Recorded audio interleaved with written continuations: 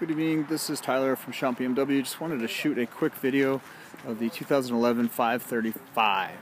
Um, this vehicle comes uh, with the cold weather package, as, as, as well as premier packages.